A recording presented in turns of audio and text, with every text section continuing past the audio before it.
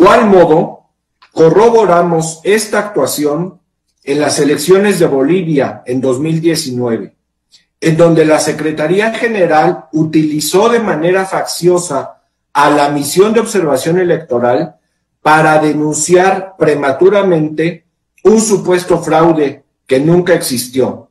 Las elecciones del domingo pasado en Bolivia ratificaron la tendencia electoral de 2019.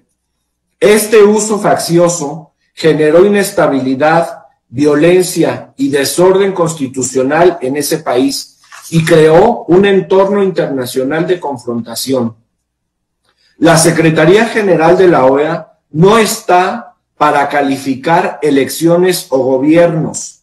Por eso, México sugiere al señor Luis Almagro someterse a un proceso de reflexión y autocrítica a partir de sus acciones en contra de la Carta de la OEA y por lastimar la democracia de Bolivia para determinar si aún cuenta con la autoridad moral necesaria para seguir encabezando esa organización.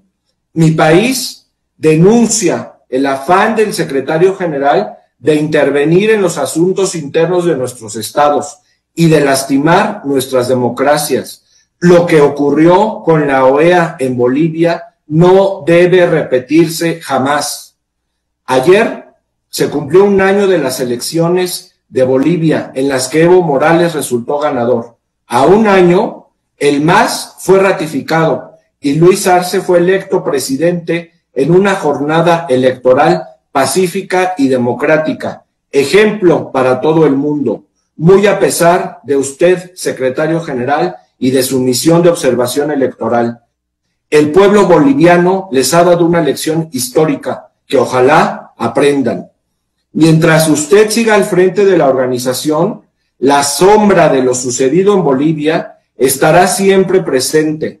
Ustedes han deslegitimado a las misiones de observación electoral y han llevado a la organización a un choque con la realidad democrática que vivimos hoy en día en la región.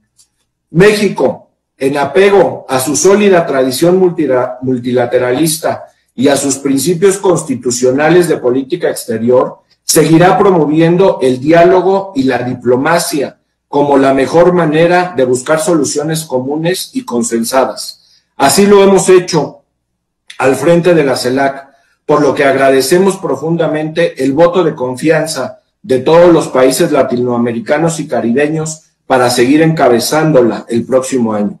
Reiteramos el llamado de México para privilegiar la democracia y la unidad de los pueblos de América. Muchas gracias.